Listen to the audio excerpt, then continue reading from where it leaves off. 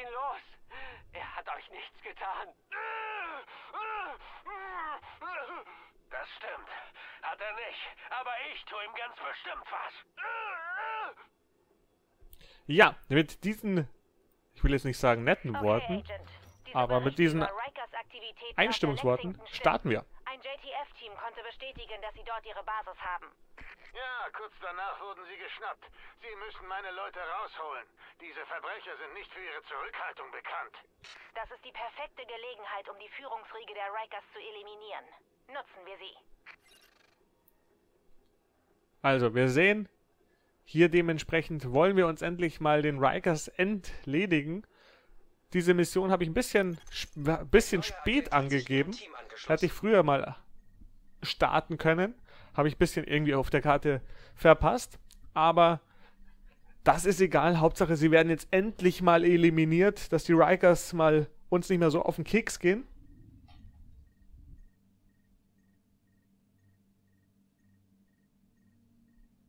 Und jetzt hoffen wir mal, dass es hier jetzt dementsprechend startet und auch rund geht. So. Da ist schon einer. Hier geht es darum, den Rikers den Kopf abzuhacken. Ich wollte gerade sagen, hier ist schon einer drin, aber nein. Die connecten gerade erst alle. Und wir sehen da unten eingeladen, eingeladen und einer schon da. Gut, holen Sie sie zuerst raus, aber gefährden Sie nicht die Mission. zum Einsatz teleportieren. Ich mache das, drücke es einfach nochmal. Vielleicht nicht, dass ich irgendwo hin muss und am Schluss stehe ich alleine da. Deswegen wird nochmal Tabulator gedrückt und los geht's. Zu Ende. So, da ist einer. Der zweite connected wohl gerade noch. Da ist er auch schon. Und wir sind vom Level hier dementsprechend hoch. 26 und 24. Und das sollte dementsprechend gar nicht so schwer werden.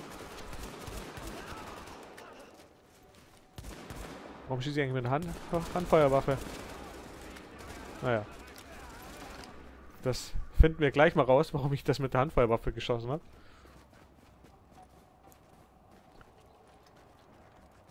Nee, das Gebäude eindringen. Ja, dann machen wir doch das. Die Geisel sichern. Wie sichert man denn die Geisel, schön? Hallo Geisel. Wir werden dich ganz sichern. Ja. Sichert sich wohl von selbst. Verdammt, er ist tot. Das war ein guter Mann. Tut mir leid, Captain. Wir müssen uns aufs Ziel Ja, konzentrieren. die Rikers, die Rücken sind vor, ganz schön krasse Kerle. Und dementsprechend, die müssen jetzt natürlich endlich mal weg. Hilft alles nix.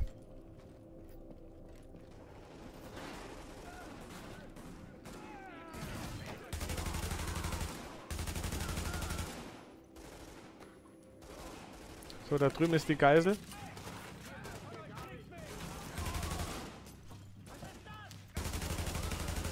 Und Level 22 ist es natürlich für uns nicht, nicht leicht, aber jetzt auch nicht so schwer.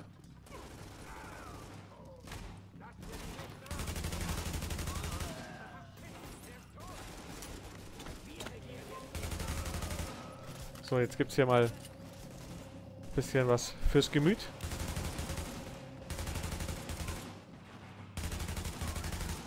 Warnung, weitere Feinde unterwegs. Aha.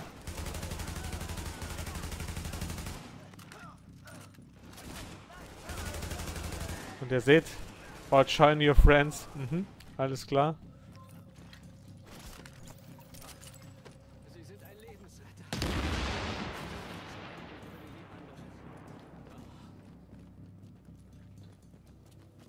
So, die Geisel suchen. Wo ist die andere? Da oben. Die armen Kerle.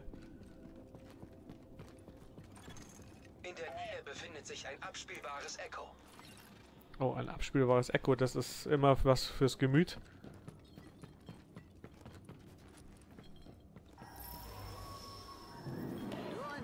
Stärkers folgt eine Gruppe von.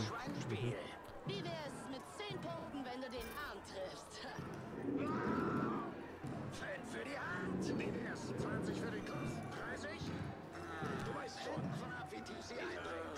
So, Die sind Einfach keine netten.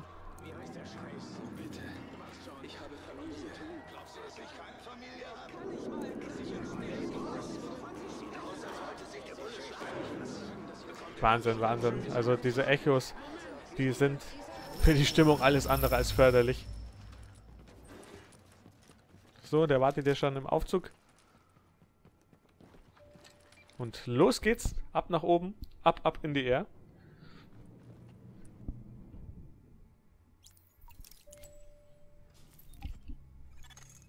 Agent, die Geisel wird auf dem Dach festgehalten. Sie müssen da aufräumen.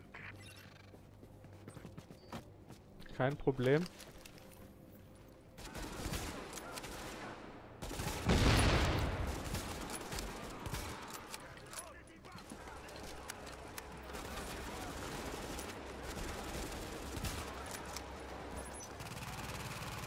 Oh, ich komme hier nicht weg. Ah.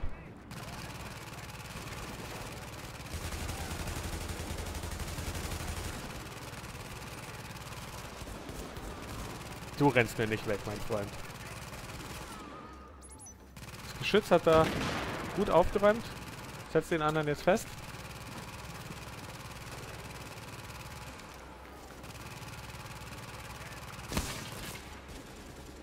Komm schon, komm raus.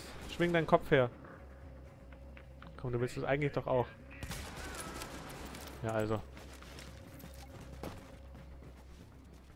Da hinten ist was zum Looten.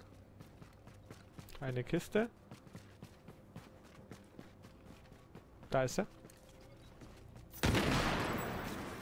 Und da drüben ist noch ein blaues Item gedroppt.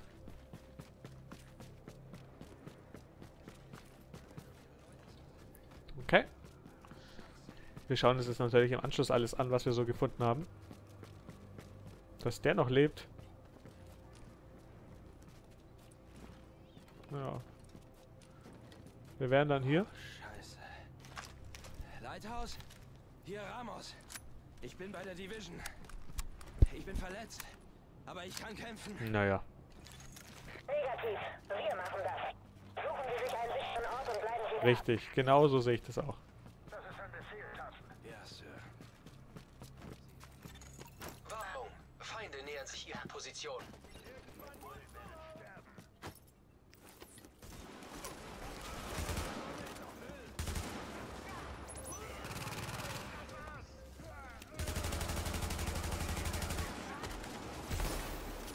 So, Schadensresistenz, das ist so meine Ulti, kann man sagen.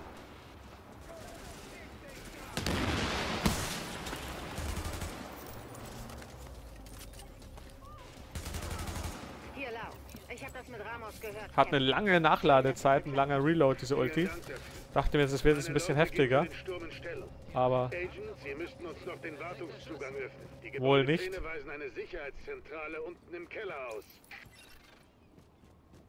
ja, gehen wir noch da mal hin. Schauen, was da so los ist. Die Rikers, die müssen jetzt einfach mal alle, alle weg.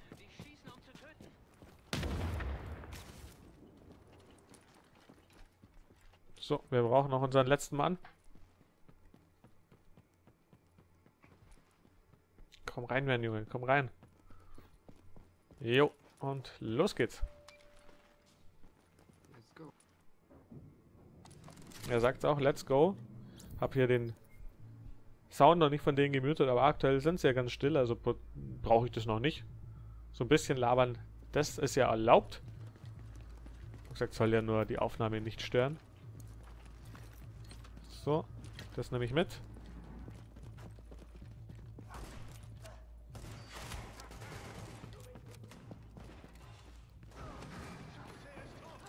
Würde sie gern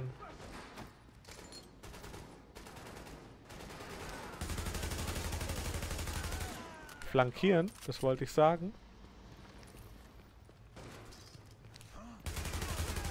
Und es hat geklappt. Weitere Feinde unterwegs.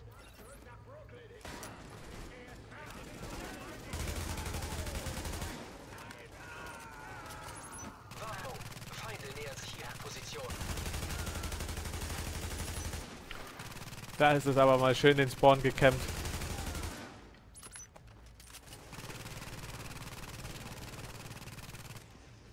Also Spawn Camping in bester Manier. Ah, wir rushen hier natürlich ordentlich durch. Wir, wir sind natürlich vom Level alle sehr, sehr gut dabei. So weit, so gut. Meine Angriffstrupps sind unterwegs. Sie werden die Halle auf ihr Signal stürmen. So, das nimm mal mit. Habst du das Gefühl, die haben das schon mal gemacht, so wie die hier durchlaufen?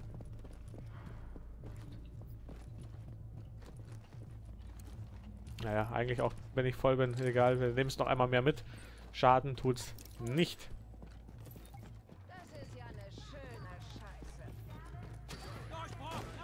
Bewegung! Los, los, los!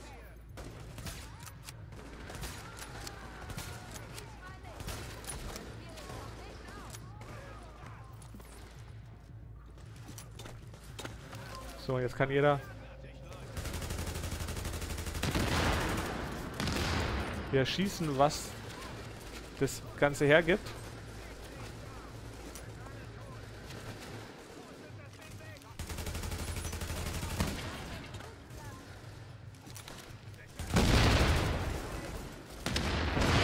Stehen sie schön in der Granate.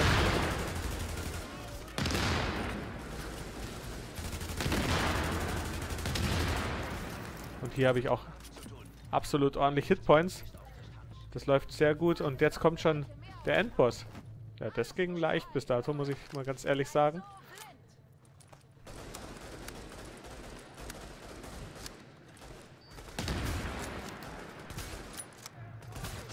Erstmal das ausschalten, was einem im Weg umgeht.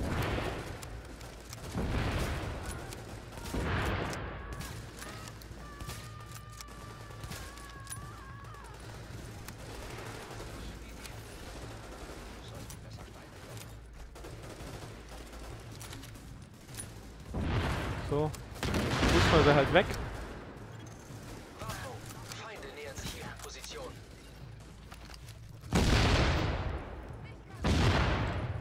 Feinde nähern sich. Ist wohl unten.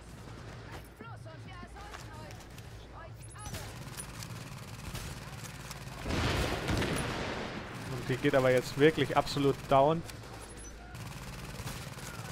Und ist jetzt auch tot. Und jetzt hier die letzten noch verbleibenden Rikers eliminieren. Diese feigen Hunde, die sich hier so vergehen an den Armen. Ich bin beeindruckt, Agent. Heikle Aufgabe, aber Sie haben getan, was getan Und jetzt looten wir die noch. Sie haben ihnen das Rückgrat gebrochen. Ohne Anführer wird der Rest zerfallen. Ja, Ich glaube, wir sind noch nicht mit denen fertig. Aber wenigstens können wir diese JTF-Leute wieder darauf ansetzen. Oh ja, meine Leute müssen leben und da draußen für die gute Sache kämpfen. und jetzt... Oh, da ist doch noch... Da ist noch eine Kiste eigentlich. Die Frage ist nur, wo ist die? Da hinten wohl scheinbar. Nee.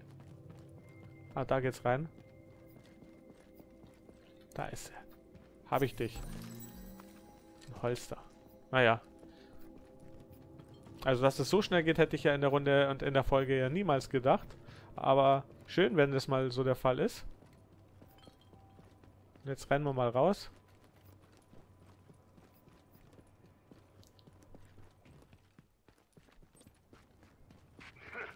Anscheinend hat jemand eine Motivationsrede von dieser Barrett aufgenommen. Ziemlich krasses Material, aber vielleicht hilft es Ihnen. Ich lade es Ihnen hoch. So, jetzt wie ab wieder mal in unsere Operationsbasis. Und da wird noch das Material gesichtet, was da hochgeladen worden ist. Dann wird nochmal das Material gesichtet, was wir gelootet haben. Und dann war das eine, zwar eine schnelle Folge, aber intensiv.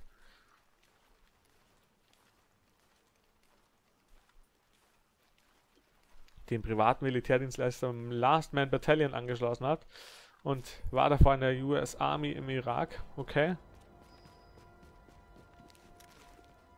So, jetzt sind wir hier drin. Das heißt, wir können jetzt gleich mal die Gruppe verlassen. Nachdem wir hier die Zone, die Quarantäne... Oh, ich dachte, oh Mensch, jetzt muss ich da nochmal reinlaufen. Ich dachte, dass man hier in der Basis safe wäre vor diesem Ladegedöns. Aber nee, wir, ich wollte euch unbedingt ja schon immer mal hier zeigen, wie man hier reinläuft. Das ist äh, spektakulär, deswegen jetzt, oh, ist das nicht geil.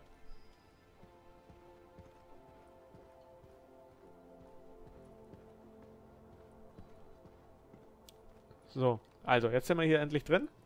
Jetzt gucken wir uns den Beweis auch erstmal an. Das, tuk, tuk, tuk, die Aufklärungsdaten. Und hier Bildmaterial. Einschnitt. Ja, sympathisch schon. Einschnitt lässt euch bluten. Aber Einschnitt tötet nicht. Er hinterlässt nur eine Narbe. Ein tiefer Schnitt. Lässt euch schreien. Aber ihr könnt aus dem Schrei Stärke gewinnen. Oder ihr seid schwach und winselt. Das ist eure Wahl. Ihr könnt wählen, ein Opfer zu sein. Egal wo ihr seid. In einem Penthouse oder in einer Zelle oder draußen, wenn ihr wieder durch eure Straßen zieht. Über die Kälte jammert, die Ratten oder darüber, wer das Sagen hat. Einige wollen Opfer bleiben. Ja, sie wollen winseln. Ich gebe euch, was ihr wollt. Wollt ihr ein Opfer sein? Nun, das könnt ihr haben. Das könnt ihr haben. Ich. Ich nehme mir, was ich will. Die nennen die Krankheit eine Tragödie. Die reden vom Weltuntergang. Diese Krankheit ist unser Lehrer. Sie sagt den Bullen, ihr habt ausgedient. Sie sagt uns, erhebt euch. Die haben uns lang genug ausgenutzt. Jetzt holen wir es uns zurück. Ihre Häuser, ihre Autos, ihre Familien, ihr Leben. Das ist unsere Stadt. Jetzt ist unsere Zeit. Unsere Zeit. Wir sind dabei! Zieht es durch! Oh ja! Mach ihn kalt, verdammt nochmal! Also ich weiß nicht, wie es euch dabei geht, aber ich muss sagen, ich finde die Videos immer beklemmend. Aber egal, jetzt können wir mal schauen, was können wir... Den Tech-Flügel, dafür brauche ich noch 280, aber den Sicherheitsflügel, den kann ich auf jeden Fall nochmal ausbauen. Weil da habe ich schon die Tausender weg. Nachschublinie. Ein Kleidungshändler. Ja, das finde ich gut, den Büchsenmacher. Jetzt kann es richtig losgehen. Ab sofort sind Sie mein absoluter Lieblingsagent. So, und da ist er auch schon. Perfekt, jetzt können wir Waffen recyceln und erneuern, Agent. Vielen Dank. Da gibt es auch Waffenteile. Sehr schön. Sehr sinnvoll. Und jetzt gucken wir uns nochmal den Loot an. Also wir haben hier Waffen. Alter, die ist ja mal krass. Die Maschinenpistole hat eine unglaubliche SPS. Aber leider ist die... Ja, ich dachte mir, weil es gibt, man kann nämlich manche anderen Waffen nämlich auf die 1 legen. Ja, die hat eine gute SPS, aber ich muss sagen, ich mag meine... Ja, wir machen hier mal die Mods, tun wir da mal weg. Ist natürlich verführerisch. Wie viel hatten die jetzt? 23. Oh ja, okay, ist viel krass besser. Optik. 3,4. Naja, dann machen wir Präzision. Magazin. Die Magazingröße wird verbessert. Der Lauf. Aus der Hüfte. Präzision, Stabilität. Kann ich mir für das kleine Ding auch vorstellen, dass das sehr sinnvoll ist. Und hier auch nochmal Stabilität und Präzision. Das ist auch sinnvoll und knapp sind wir bei 30.000 SPS. Sehr nice. Was gibt es hier noch? Ver verschlechtert fast alles, deswegen die Hochleistungsweste bringt uns nicht viel. Muss man natürlich drauf aufpassen. Ich habe hier nämlich noch eine Mod drauf. Für Schusswaffen, integrierte Waffenmod. Aber in dem Fall ändert die hier daran nichts. Das heißt, es bleibt die Maske, die ist nicht wirklich überlegenswert. Auch hier kann man sagen, lass mal so wie es ist. Und bei den Rüstungen, auch da kann man das so lassen, wie es ist. Ja, wir haben uns eine geile neue Waffe gesichert. Ach, wisst ihr was? Die wollen wir uns noch, noch anschauen, oder? Wir haben noch Zeit. Dann gehen wir kurz auf den Schießstand und zeige euch meine neue, mein neues, gutes Stück. Da kann ich nämlich hier schnell ballern.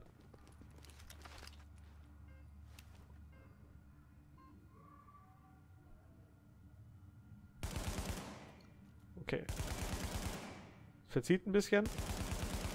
Aber ich glaube unterm Strich macht die schon gehörig Schaden.